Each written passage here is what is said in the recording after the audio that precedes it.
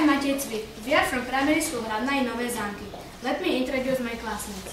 Varda Sudovská, Nina Vajčanová, Vicky Filipová, Iva Juhásová, Ester Fazekašová, Nelly Miklovičová, Dia Mušková, and Bea Zacharová. We are going to present a comedy, Mind Wandering Student Theater. We hope that you will enjoy.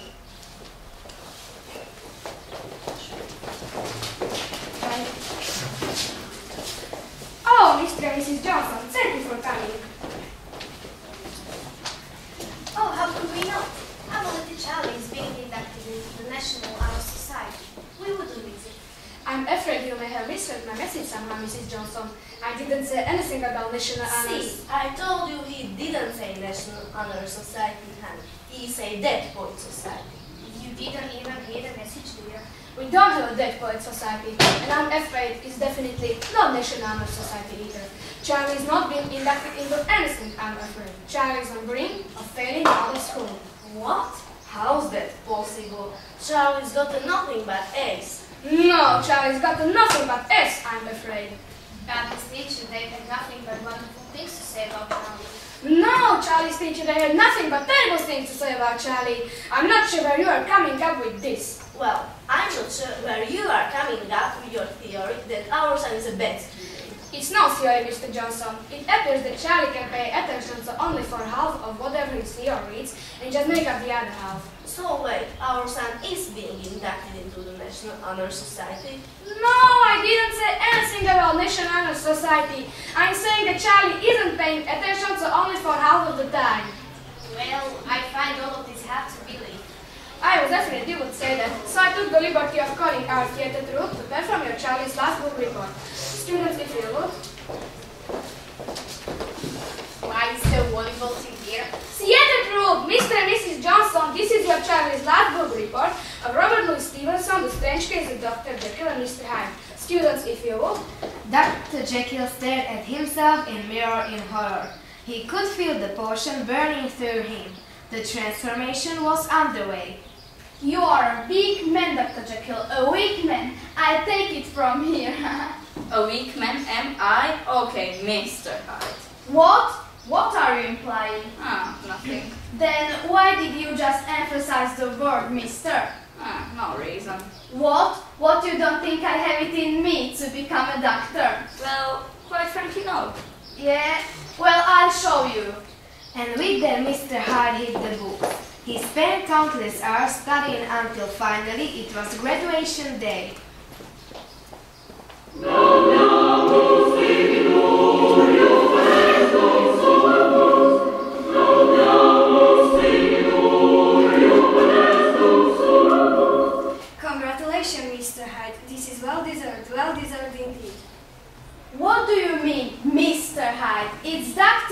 No, sorry, this is beauty school. Dang it! And thus ends the famous tale Jekyll and Hyde.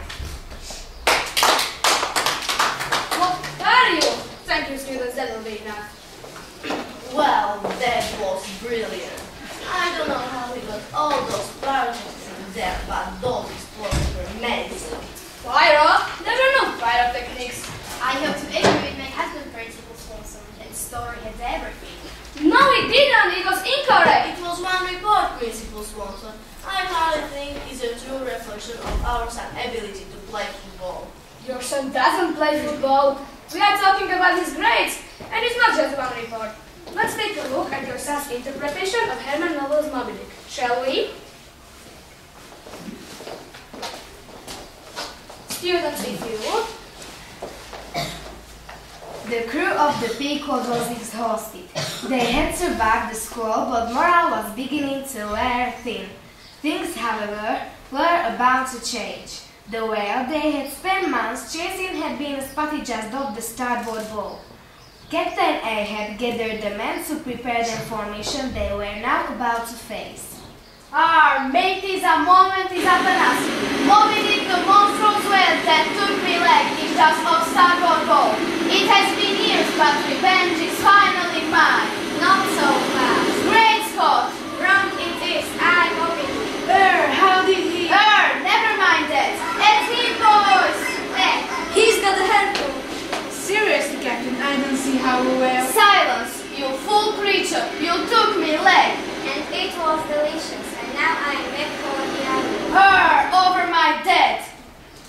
Captain, where decided Moby Dick with a giant whale? Er, what of it? Well, this creature is small, pretty small by well standards. So, And it can speak English seems like something have mentioned to us. er, what are you getting at? Seems species. How so? Uh, well, whales also don't have opposable tongues to handle harpoon. Okay. And whales don't worship. Er, I don't follow. This lasted for several more hours until Captain Ahab finally realized Oh God, this isn't Moby Dick at all. it had been a setup. When Captain Ahab and his men returned to New England, their worst fears had been realized. While they were away, the real Moby Dick had broken into their homes and stolen all of their stuff. And that concludes this classic tale of Moby Dick. You, students. That will be enough. Man, so close to a first down. First down, what are you talking about? I don't understand what the problem with it was. You don't understand the problem. No. Mr. and Mrs. Johnson, Moby Dick did not break into their homes and rob sailors down there at sea.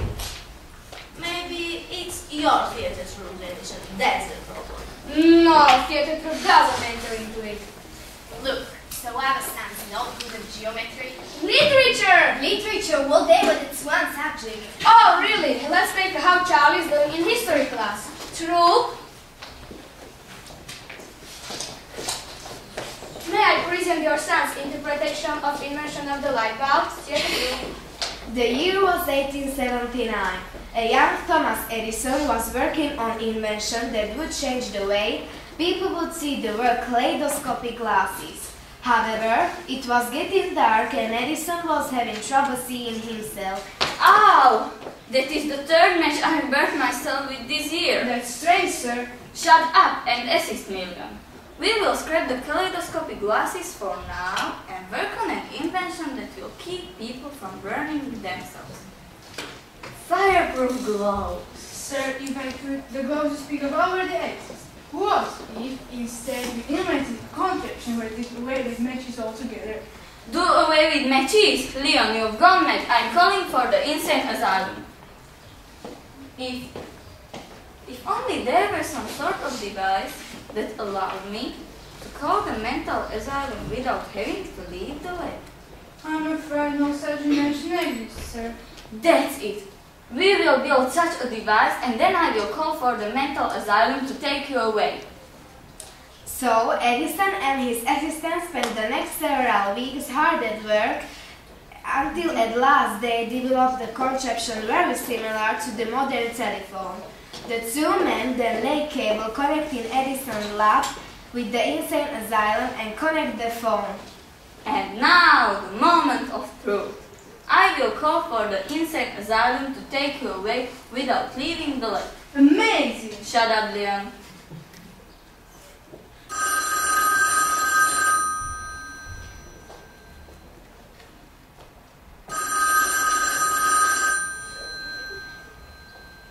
Unfortunately for Edison, the doctors had no idea what was making that ringing noise, so they smashed the device with a hammer.